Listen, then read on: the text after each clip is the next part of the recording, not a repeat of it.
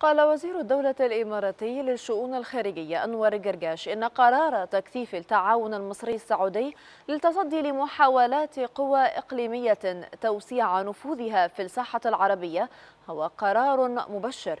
وفي تغريدة له على تويتر أشار قرقاش إلى أن الطريق لاستعادة زمام المبادرة العربية لحل أزمات المنطقة لا يزال وعرا لافتا إلى أن معركة تحصين النظام الإقليمي العربي تتعزز كل يوم.